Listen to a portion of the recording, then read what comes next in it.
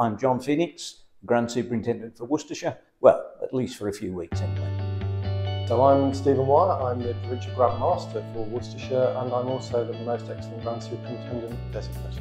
My name's Tim Jones. I'm the current second Provincial Grand Principal. We're here for the second presentation on the new process called Archway. Well, we're here today to talk about Archway.